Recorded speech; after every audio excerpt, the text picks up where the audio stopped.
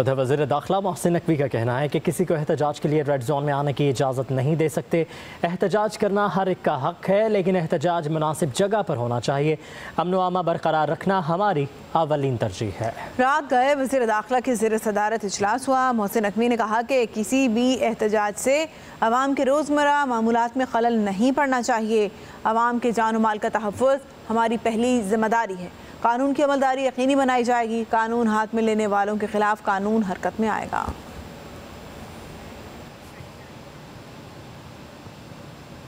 उधर वज़ीर दाखिला मोहसिन नकवी का कहना है कि किसी को एहतजाज के लिए रेड जोन में आने की इजाज़त नहीं दे सकते।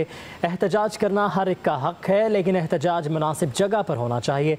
अमन अमा बरकरार रखना हमारी अवलिन तरजीह है। रात गए वज़ीर दाखिला के जेर सदारत इजलास हुआ। मोहसिन नकवी ने कहा कि किसी भी एहतजाज से आवाम के रोज़मर्रा मामूलत में खलल नहीं पड़ना चाहिए। आवाम के जान माल का तहफ़ हमारी पहली ज़िम्मेदारी है। कानून की अमलदारी यकीनी बनाई जाएगी। कानून हाथ में लेने वालों के खिलाफ कानून हरकत में आएगा।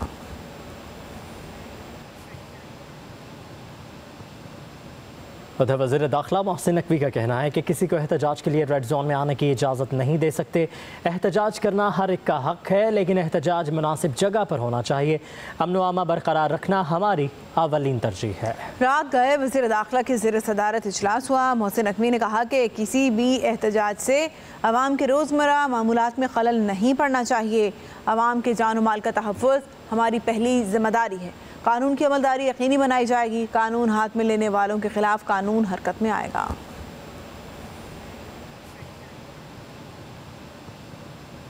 उधर वज़ीर दाखिला मोहसिन नकवी का कहना है कि किसी को एहतजाज के लिए रेड जोन में आने की इजाज़त नहीं दे सकते। एहतजाज करना हर एक का हक है, लेकिन एहतजाज मुनासिब जगह पर होना चाहिए।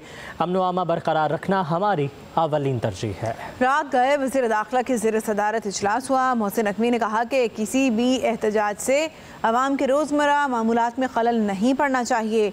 आवाम के जान माल का तहफ़ हमारी पहली ज़िम्मेदारी है। कानून की अमलदारी यकीनी बनाई जाएगी। कानून हाथ में लेने वालों के खिलाफ कानून हरकत में आएगा।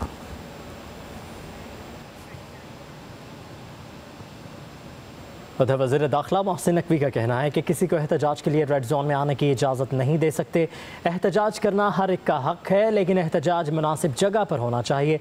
अमन अमा बरकरार रखना हमारी अवलिन तरजीह है। रात गए, वज़ीर दाखिला के जेर सदारत इजलास हुआ। मोहसिन नकवी ने कहा कि किसी भी एहतजाज से आवाम के रोज़मर्रा मामूलत में खलल नहीं पड़ना चाहिए।